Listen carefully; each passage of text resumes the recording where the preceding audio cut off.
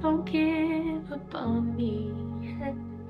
This song feels like a gift to me. Like it feels like something that I co-wrote with God, which is the coolest feeling. It just shifted my perspective about how quick he is to love and how quick we are to be hard on ourselves and to feel like we can't approach him. But I'm grateful to know now that in those moments when I feel like God's given up on me or that